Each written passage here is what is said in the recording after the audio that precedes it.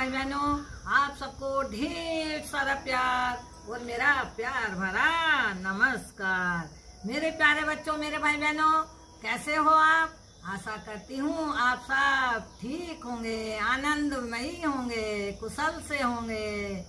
तो आज हम आप सबके लिए बना रहे हैं घेवर, रबड़ी वाला घेवर।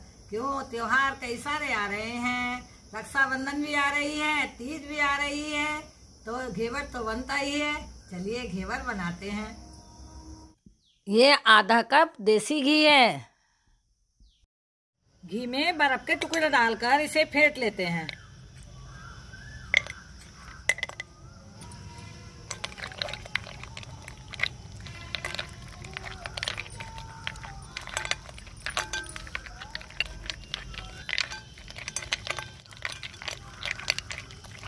इसे हमें अच्छे से फेंटना है।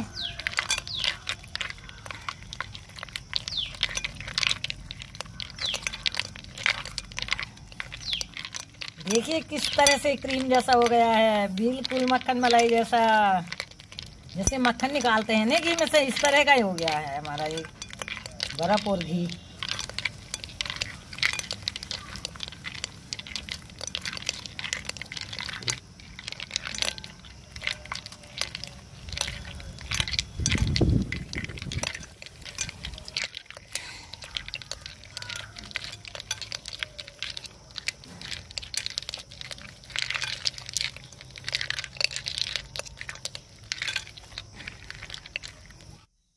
बर्फ़ के टुकड़ों को निकाल देते हैं। मैदा हमने छान ली है। ये दो कप मैदा है।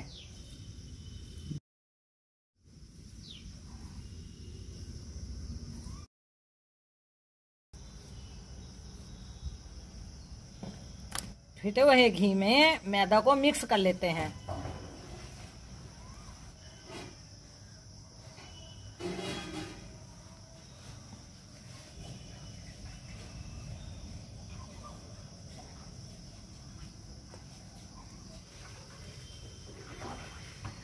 हमने मैदा को अच्छे से मिक्स कर लिया है घी में। अब हम इसमें ठंडा दूध मिला रहे हैं। दूध बिल्कुल ठंडा होना चाहिए। अब थोड़ा थोड़ा दूध मिलाते हैं।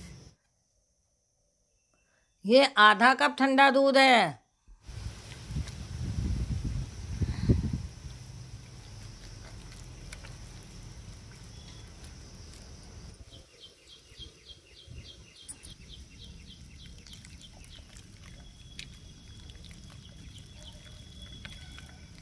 दो चम्मच, बेसन। बेसन डालने से घेवर अच्छा क्रिस्पी बनेगा। हमने दो चम्मच बेसन डाल दिया है।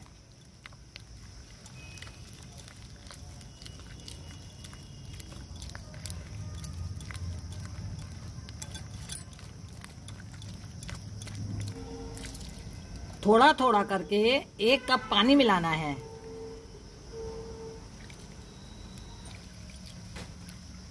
पानी थोड़ा थोड़ा करके ही डालना है।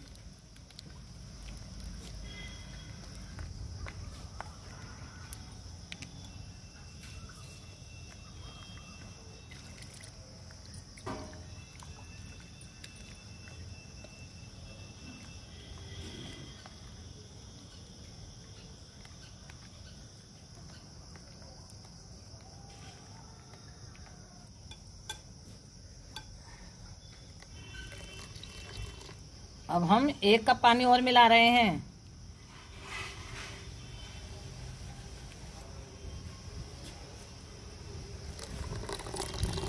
अब हमने दो कप पानी डाल दिया है। अब एक कप पानी और डाल रहे हैं हम। बैटर को तैयार करने के लिए हमने तीन कप पानी का प्रयोग किया है। घेवर के बैटर में अब हम एक नींबू डालेंगे।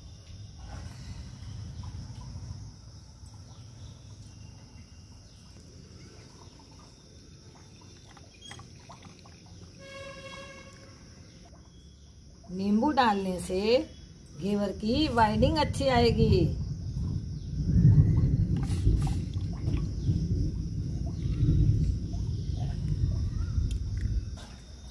मौसम, आज भी बारिश वाला है, बहुत सुहाना मौसम हो रहा है। अब इसे अच्छी तरह से फेंट लेते हैं और बैटर में गुड़ी नहीं होनी चाहिए। अगर आपको लगे बैटर में कोई गुड़ी है तो उसको छान लें। घेवर का बैटर बिल्कुल परफेक्ट होना चाहिए। ना ज़्यादा पतला होना चाहिए ना ज़्यादा गाढ़ा होना चाहिए। देखिए इस तरह का ही होना चाहिए। ये घेवर के साँचे हैं। घेवर के साँचे छोटे बड़े अपने हिसाब से ले सकते हैं। ये भी घेवर के साँचे हैं। अब हम साँचे को घी में रख देते हैं। घी गरम हो चुका है। घी हमारा साँचे से आधा होना चाहिए। अब बैटर को रमचे की सहायता से सांचे में धीरे धीरे करके थोड़ा थोड़ा डालना है। बेटर हमें इतना ही डालना है, सांचे से बाहर ना आए। गैस को मीडियम रखना है।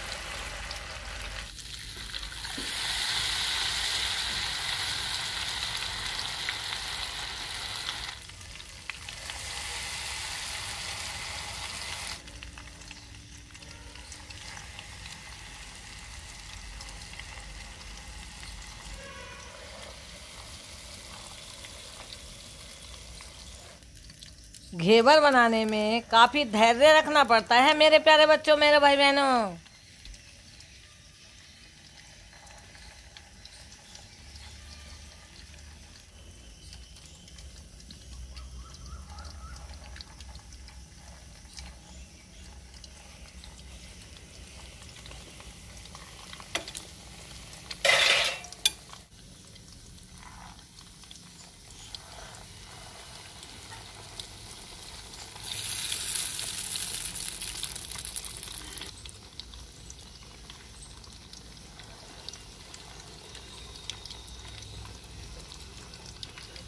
अब इसमें बैटर डालने के लिए पतली नुकीली रोड से जगह बना लेते हैं।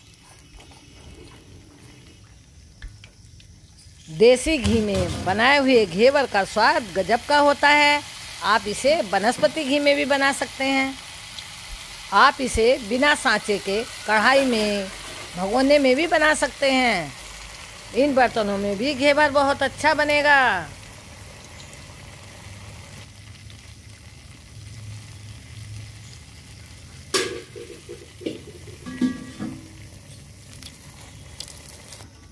अब इसमें से ही गरम घी को घेवर के ऊपर डालकर ऊपर से भी सेक लेते हैं।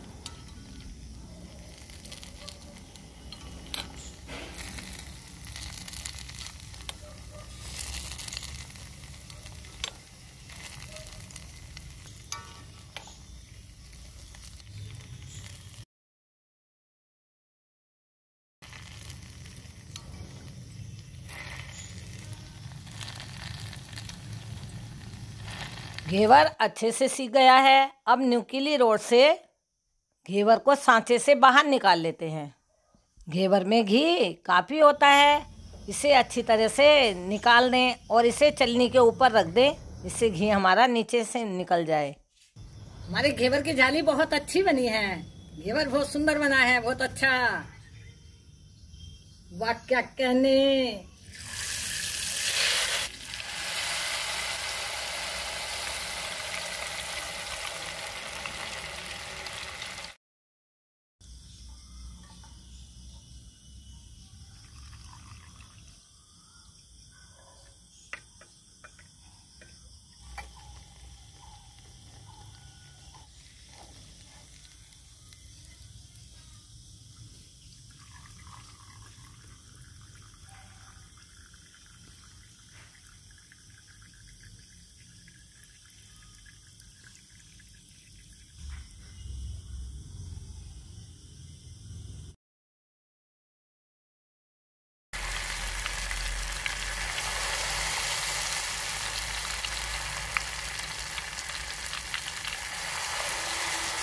इसके ऊपर से भी इस तरह से गरम गरम घी डालना है। इससे ऊपर से भी अच्छी तरह सिकाई हो जाए।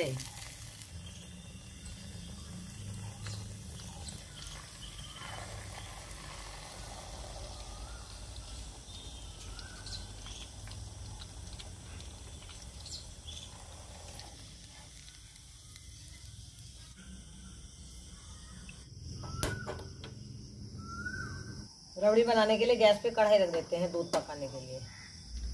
ये भैंस का ताज़ा दूध है, दो किलो। हम इसके ताजे दूध की रबड़ी बना रहे हैं। ये दो किलो दूध है।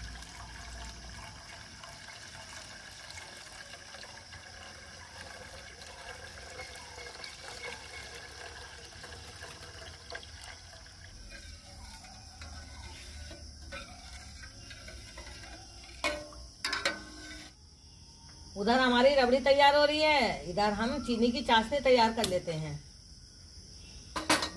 ये हमारी ढाई कप चीनी है।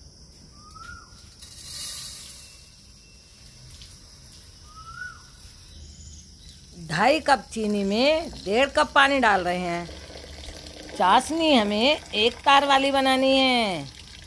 चाशनी में हम केसर डाल रहे हैं। केसर डालने से चाशनी का कलर भी अच्छा आएगा और हमारे घेवर का स्वाद भी बढ़ जाएगा। चाशनी में हमें इलायची पाउडर डालना है। अब हम इन्हें कूट लेते हैं।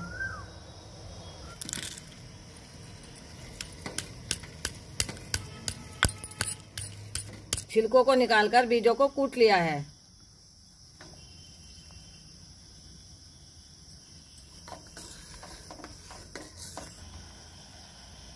हमारी रबड़ी भी बन चुकी है और एक तार की चाशनी बनकर भी तैयार हो गई है।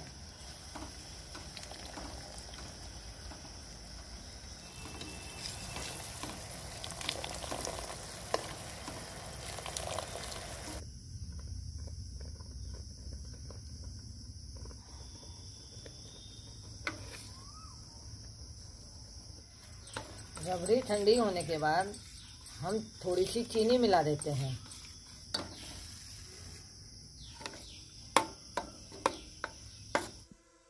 अब घेवर के ऊपर चाशनी को धीरे धीरे से डाल देते हैं।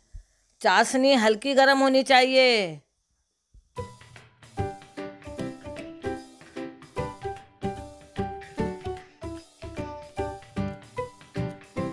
अब घेवर के ऊपर रबड़ी को लगा देते हैं।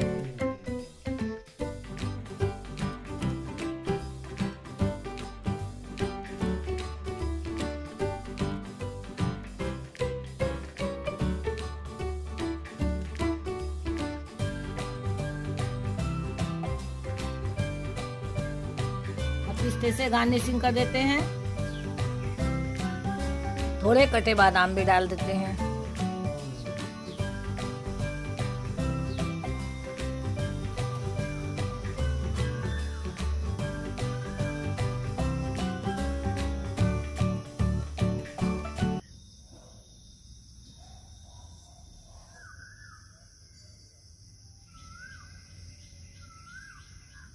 मेरे प्यारे बच्चों, मेरे भाई बहनों रबड़ी वाला, केसर वाला, घेवर बनकर तैयार है। घेवर बहुत अच्छा बना है, बहुत क्रिस्पी बना है, जालीदार, जाली वाला। तो आ जाओ मेरे प्यारे बच्चों, मेरे भाई बहनों केसर वाला, रबड़ी वाला, घेवर खा लो, आ जाओ। मेरे प्यारे बच्चों, मेरे भाई बहनों हमारे चैनल के सदस्य ज़रूर बनना। हमारे वीडियो को लाइक करना, कमेंट करना, शेयर करना। हमारा हौसला इसी तरह से बढ़ाते रहना। जब आप हमारा वीडियो देखते हो तो हमें बहुत आनंद आता है, बहुत खुशी होती है, बहुत अच्छा लगता है। अगले वीडियो में फिर मिलेंगे एक नई रेसिपी के साथ। खुश रहो, आनंदित रहो। Bye bye